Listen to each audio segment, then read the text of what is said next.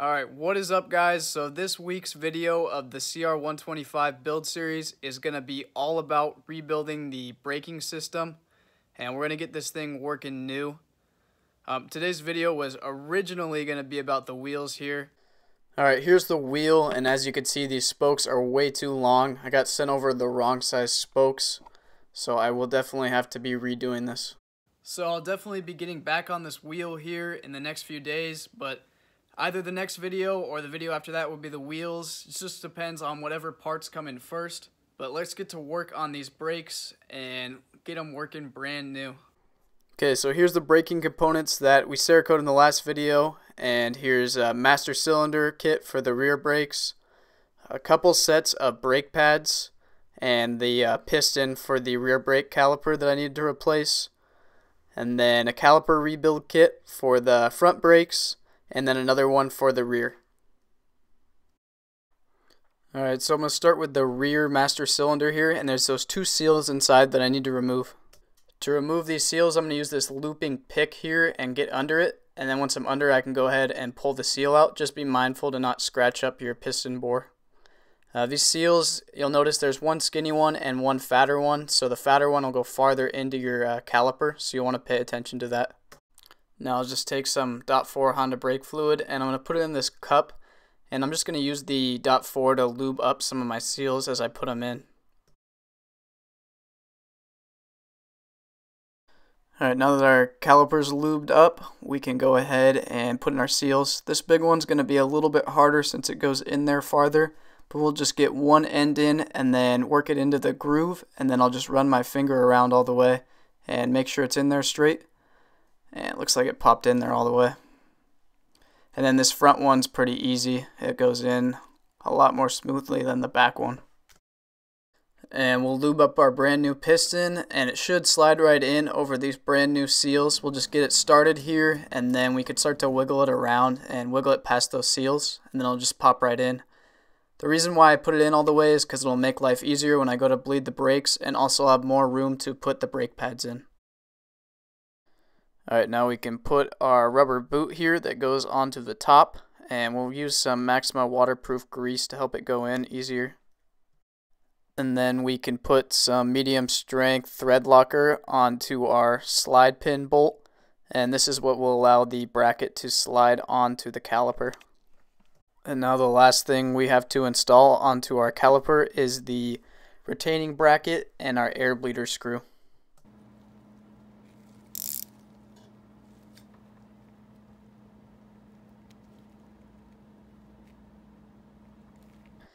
And then this other boot will fit into our bracket here. Just kind of work it around and it'll go in there. Alright, we can put some grease on both of our sliding pins here so they slide into the seals good. And just line it up easy and then it should just push right on there. Now we can put our brake pads into the caliper. Um, it's pretty easy, you'll just want to line up the two holes in the brake pads with where our last bolt goes into and this bolt's just an 8 millimeter so tighten it down it's probably about 5 to 8 foot pounds on the torque spec for it. Alright guys I already know our rear brakes are gonna look absolutely amazing on the bike and also should run super smooth. For the master cylinder really the only thing we'll be rebuilding is the piston here so I'll remove the spring and then wedge the uh, pick under the same way I took out the seals on the caliper. Just wedge them under and then you can remove them to install the new seal, you'll kind of want to stretch it over the top. It's going to be pretty hard since there's such a small hole. You just need to push it on. This one wasn't too bad, but some of them can be a pain. I usually like to do these seals one by one because they have little tiny differences between them and I want to make sure I get it right. And for this one, you can see it's got a small hole here and it has to pop over that big thing. So what I do is I use my tusk ring pliers and I just use the spring tension on them. And I'll put that little O-ring seal over the uh, fat part of the pliers so it doesn't rip on the tip there. And I'll just kind of start it over here. You can see my seal cut on the edge there and got a little bit twisted. So after I get it on here and work it over all the way, I'm going to just work it around to untwist it here. And now we can pop our new spring on that came with the rebuild kit. and then we'll go ahead and slide our piston into the cylinder and make sure it actuates correctly and it feels pretty good. This push rod lines up here with the piston and then I'll push it down and use the circlip pliers to get this started and then I'll use an Allen bit to push it in and get it to snap into place. You guys can use anything that'll fit in there. And now we can slide this dust seal over the top of this nut here and get it locked into place to protect our piston from debris. Then we'll thread our nut onto here and then tighten down our connecting bracket here that'll connect the uh, master cylinder to your rear brake pedal. And then this piece I'll just slide through and put the clip in for now, but I'll have to remove this when I go to install it onto the bike. Alright, now we can put our rubber seal in here, and then we can install our cap.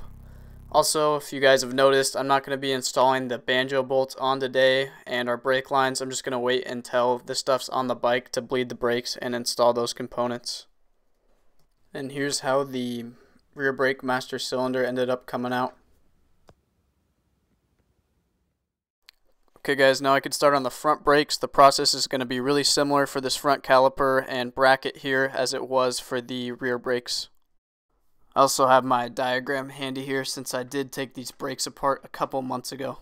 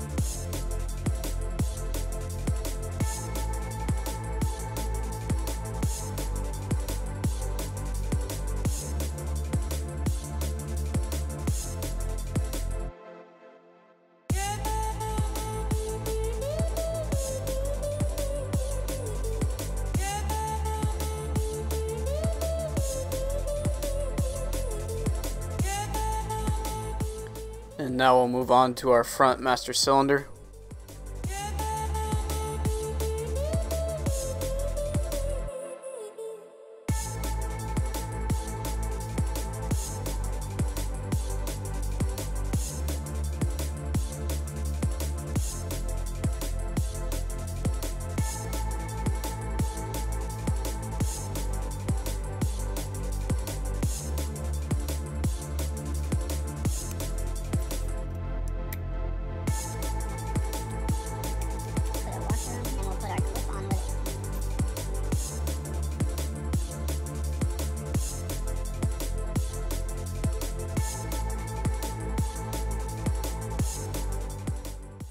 It's amazing how much smoother these master cylinders work after getting rebuilt.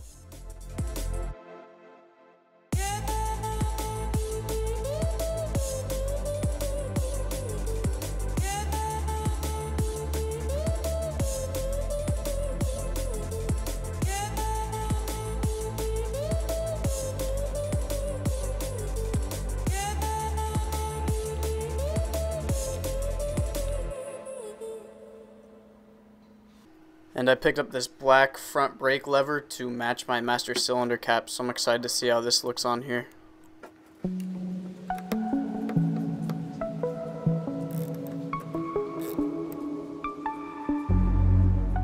These brake components came out really good guys. I can't wait to put these things on the bike and it feels good to be one step closer to putting this bike back together. If you guys enjoyed the video, hit that subscribe button for me.